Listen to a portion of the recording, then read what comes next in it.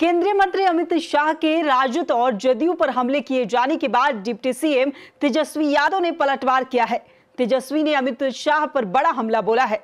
BJP की rally को comedy circus बताया है। तेजस्वी ने कहा कि मैंने तो पहले ही कहा था कि बिहार को स्पेशल पैकेज नहीं मिलेगा।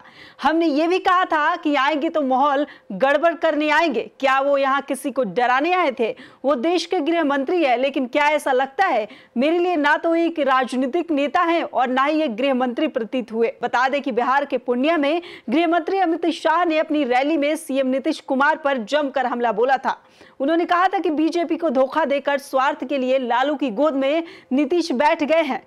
मेरे दौरे से लालू और नीतीश कुमार के पेट में दर्द हो रहा है। उन्होंने लालू को आगाह किया और कहा कि, लालू जी, आप ध्यान रखिएगा कि नीतीश बाबू कल आपको छोड़कर कांग्रेस की गोद में ना बैठ जाए। शाह ने कहा था कि नीतीश कुमार ने सबके साथ धोखा किया है। जॉर्ज फर्नांडिस के साथ भी धोखा दिया। वो कह रहे हैं कि मैं यहाँ लड़ाई करने आया हूँ, मैं यहाँ किसी से लड़ाई करने नहीं आया हूँ। मोदी जी के राज में किसी को डरने की ज़रूरत नहीं है।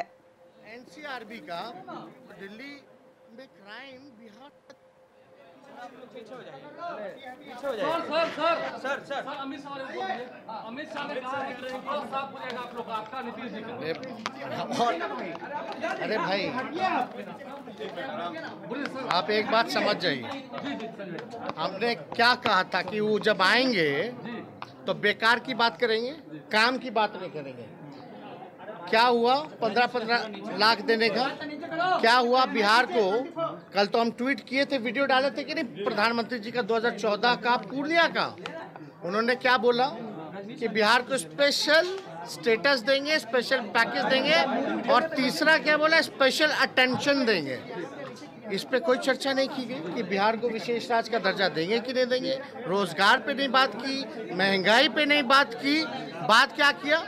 हम तो पहले ही कह रहे थे ना, आएँगे तो झूठों का माहौल गड़बड़ करने के लिए आएँगे और कहेंगे कि जंगल राज है। अरे, पहले अमित शाह जी, आप जहाँ दिल्ली में बैठते हैं, क्राइम में अव्वल नंबर पे आता है, और वो आप ही के विभाग का आंकड़ा निकाल लीजिए, एनसीआरबी का तो दिल्ली में क्राइम बिहार से अधिक है।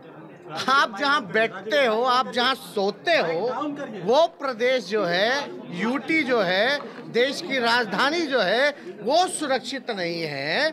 और आप यहाँ बिहार आकर के लोगों को बेवकूफ़ बनाना चाहते हैं। और क्या कह रहे थे?